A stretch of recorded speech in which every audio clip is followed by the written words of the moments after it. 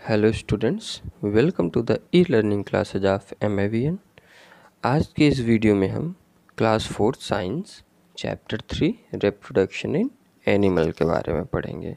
ठीक है? इस चैप्टर में हम reproduction animal that give birth to young ones, animals that lay eggs care of the young ones, in topics के बारे में जानेंगे। सबसे पहले आइए रिप्रोडक्शन के बारे में जानें। Beside people so many animals to live in the and uh, around our home these are family like cat dog domestic animals such as hens and cows and house pets like rats lizard and cockroach we also have animal living in parks and trees such as bird squirrel and monkeys बच्चों आप सभी देखते होंगे आदमी के अलावा besides people लोगों के अलावा हमारे घरों के आसपास या हमारे घरों में भी कई सारे फैमिली रहते हैं, जैसे बिल्ली, कुत्ते और भी घरेली, घरेलू जानवर, ठीक है? जैसे hen हो गई और हमारी गाय, भैंसें हो गई, ठीक है? ये सब रहते हैं। कई सारे बर्ड के फैमिली रहती हैं, ठीक है? मंकी के स्क्वायरल के, ये सब रहती हैं, ठीक है? Have you ever seen the young ones They look quite similar to their parents, but so small in comparison. Where do they come from?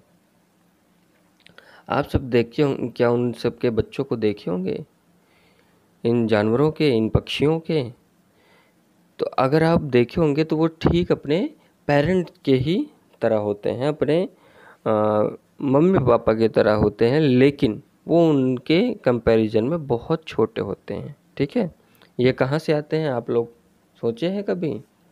We have read that living things possess certain feature that non living things do not possess one such feature is that living things do not possess one such feature is that living things produce more of their own kind this process called reproduction हम सब पढ़े हैं कि कुछ चीज़ें living things हैं, कुछ चीज़ें नॉन लिविंग थिंग्स हैं, ठीक है?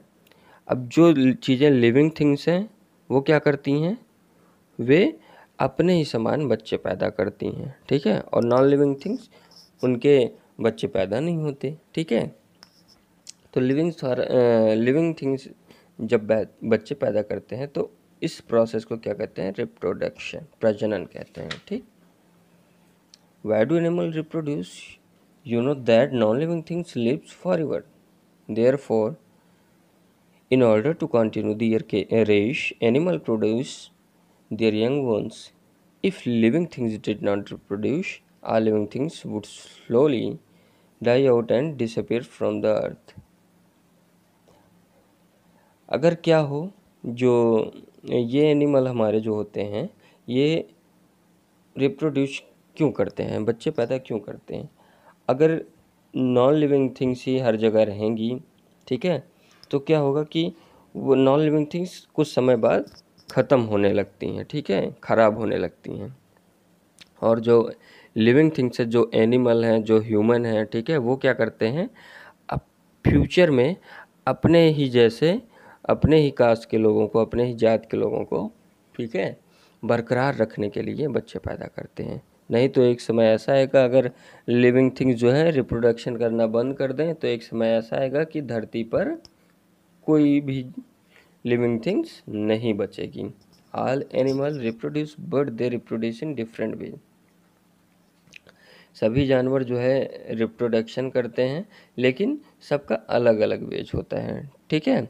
कुछ जानवर ऐसे होते हैं जो बच्चे पैदा करते हैं। ठीक है? जैसे काऊ हॉर्स मंकी कैट्स और कुछ ऐसे जानवर भी होते हैं बर्ड्स होते हैं, जो बच्चे के बजाय अंडे देते हैं। जैसे बर्ड्स हो गई फ़िश हो गई फ्रॉग स्नैक ये सब। ठीक है? अब आते हैं animals that give birth to young ones ऐसे एनिमल्स के बारे में जानते हैं जो बच्चे पैदा करते हैं। तो बच्चों, जो अपने ही जैसे बच्चे पैदा करते हैं, उनको मैमल कहते हैं, ठीक है? और मैमल के अंदर ह्यूमन भी आते हैं, ठीक है? ह्यूमन भी मैमल हैं, जो भी बच्चे पैदा करते हैं, वो सब मैमल में आते हैं, ठीक? और कुछ ऐसे भी मैमल होते हैं आइए कुछ मैमल को देखते हैं और उनके बच्चों को देखते हैं, जैसे कैट कैट का बच्चा kitten, goat, kid, horse, foal, kangaroo joey lion cub sheep lamb ठीक है? और बीच के बच्चों को पप्पी कहते हैं। ठीक है? तो ये हो गए मैमल कुछ ऐसे भी मैमल होते हैं जो अनयूजुअल होते हैं। वेल डॉल्फिन बैट ये सब क्या होते हैं? अनयूजुअल मैमल होते हैं। ठीक है? आप डॉल्फिन को मछली मत समझिएगा। ये मैमल है। ठीक है? और बैट बच्चों बैट भी मैमल है बैट को कई लोग पक्षी समझते हैं, ठीक है? ये सिर्फ़ ऐसा एक मैमल है जो उड़ता है। ये पक्षी नहीं है, ये बर्ड्स नहीं है, ये मैमल है, ठीक? उसके बाद आते हैं एनिमल दैट लेग्स उन एनिमल्स के बारे में जानते हैं जो अंडे देते हैं, ठीक है? Many animal like bird fish insect snake frog lizard and crocodile reproduce laying egg ये सब जो जानवर होते हैं, पक्षी होते हैं, ये सब क्या करते हैं? अंडे देते हैं और अंडे दे के ही ये प्रजनन करते हैं। Their babies develop inside the egg and come out when the egg hatch इनके बच्चे जो है, अंडे के अंदर ही डेवलप होते हैं और अंडा फूटने के बाद ये बाहर आते हैं, ठीक है? एन एग आइए एग की हम स्ट्रक्चर को जानते हैं। An egg has a thin but hard shell called the egg shell एक जो अंडा होता है वो बहुत ही मोटा होता है। ठीक है? उसकी सेल ठीक है? जो ऊपर का वाइट कलर होता है ठीक है अंडे का वो एक सेल कहलाता है। It protect the baby develop inside ये आ, अंदर बच्चे को डेवलप करने में उसका प्रोटेक्ट करता है। बाहर से चोट ना लगे। In the centre of the egg is the yolk आप अंडे के अंदर देखे होंगे येलो कलर का एक पार्ट होता है, उसको यॉक कहते हैं, ठीक है? It is yellow in colour and rich in fat and minerals यह जो है फैट और मिनरल से बना होता है, ठीक है? येलो कलर का जो होता है। The yolk has a developing baby called the embryo जो याक ही होता है, यही बेबी में डेवलप होता है। इसको क्या कहते हैं? एम्ब्रो जब यॉक जो है बेबी में डेवलप होता है तो उसको एम्ब्रो कहते हैं। Around the yolk is a white jelly like substance called albumen जो येलो पार्ट के बाहर एक पार्ट होता है, वो जेली टाइप का होता है, ठीक है? वाइट कलर का, उसको एल्बेनम कहते हैं। The albumen is rich in proteins and protects the embryo या क्या करता है? उस छोटे से बेबी का जो है येलो पार्ट जो बेबी में कन्वर्ट होता है, उसका प्रोटेक्शन करता है। An egg has air sac for the growing baby to breathe till the egg has और अंडे में एक एयर सैक एक छेद भी होता है छोटा सा, उसी से बच्चा क्या करता है, अंडे के अंदर बेबी जो रहता है, वो सांस लेता है, ठीक है? अब आइए बर्ड्स के बारे में जानते हैं।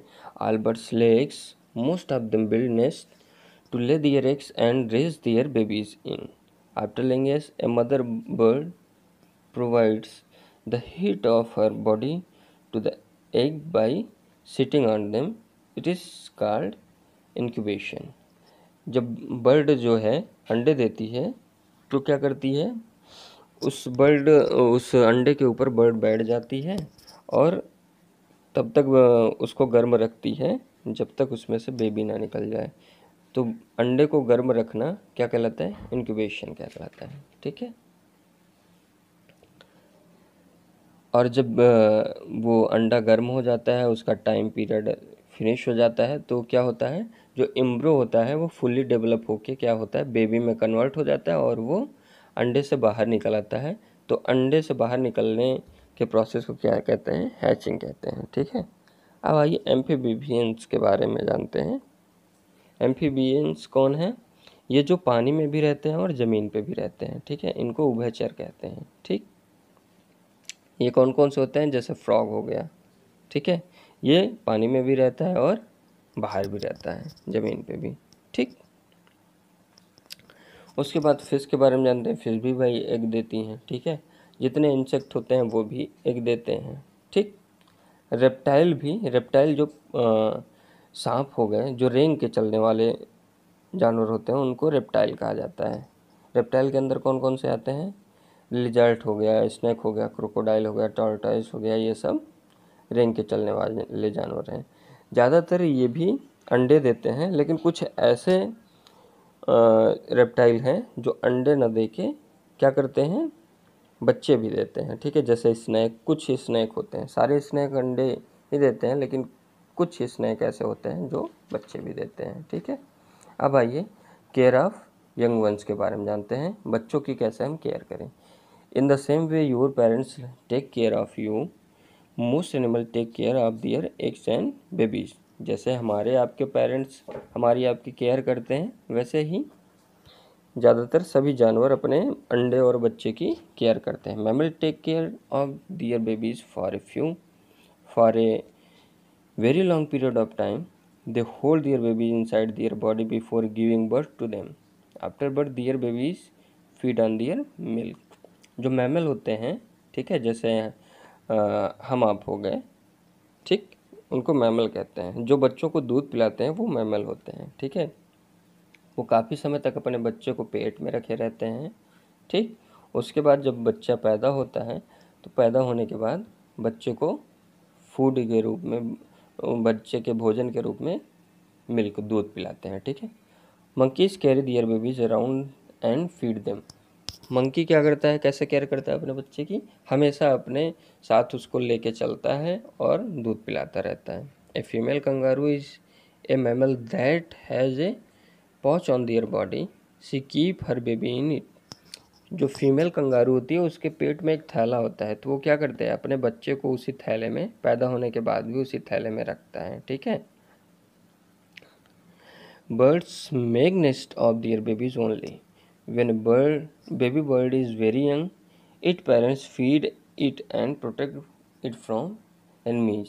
जब बर्ड्स के बेबी पैदा होते हैं नस्ट में तो बहुत छोटे होते हैं। तो उनके पेरेंट्स क्या करते हैं? बर्ड्स उनके मुँह में ला के फीड्स को डालते हैं और अपने बच्चे को इनमें से जैसे सांप हो गया चील बाज हो गया, इन सबसे सुरक्षा करते हैं, ठीक है?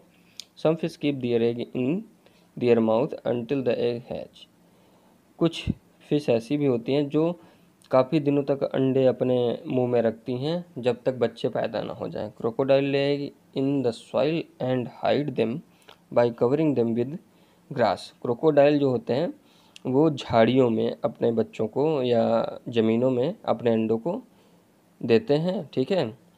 उसके बाद वहाँ से बच्चे निकलते हैं। Humans are the only mammal that take care not only for for children but also it their grandchildren सिर्फ़ ह्यूमन एक ऐसा प्राणी है, एक ऐसा मैमल है, जो सिर्फ़ अपने बच्चों को ही नहीं, अपने बच्चों के भी बच्चों को अपने बच्चों के भी बच्चों की सेवा करता है, ठीक है? उनको पालता, पोसता, उनकी केयर करता है, ठीक है? बच्चों ये चैप्टर यहीं पे फिनिश हुआ। सभी चैप्टर इस साइंस के सभी चैप्टर में वर्ड पावर लास्ट में दी गई है, ठीक है? उस वर्ड पावर को लर्न कर लीजिएगा और आपको क्वेश्चन आंसर प्रोवाइड करा दिया जाएगा पीडीएफ के थ्रू, ओके? Thank you.